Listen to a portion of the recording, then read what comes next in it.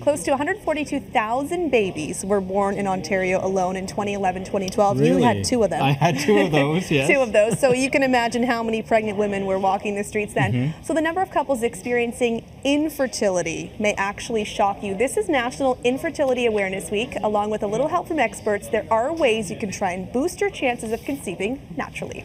You know, I had put postponed having children a little later in life because I was concentrating on my career. Testing, hormone injections, the prospect of IVF. None were on Karen Johnson Basra's radar until she decided to try and get pregnant at 36. To her surprise, her age wasn't the only factor. It's really interesting how stress plays a toll on your body. To see how it did impact me so severely, I didn't realize it could be such a handicap. Karen is among the 15% of the population affected by infertility, and the reality is many career driven couples often delay having children. So, one in six couples experiences infertility in a lifetime. That by age 30, women have depleted their ovaries of 90% of their egg supply.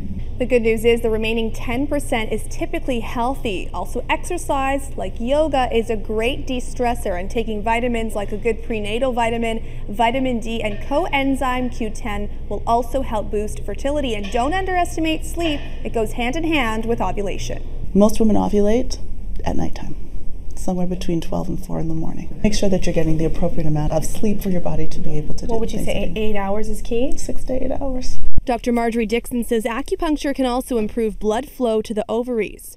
Drinking fewer cups of coffee, alcohol, and budding out are also key. Smoking is, has antioxidants bad for the rest of your body, really bad for your ovaries. He's a true boy. Yeah. Karen underwent hormone injections before having two boys. She had her youngest at 40. For those who turn to fertility clinics like this one, treatment varies from patient to patient. And even without help, the chances of getting pregnant right away aren't so high. It's 25% per cycle in the ideal situation. So, no problems with sperm, no problems with egg, no problems with the uterus, no other things that can impact fertility. And you may want to eat a, a lot of blueberries, as well if you're trying to conceive. They're natural and rich in mm-hmm. antioxidants, which are also going to help, she says. And they're delicious. They are delicious, a healthy snack. Yeah. It could be good for fertility.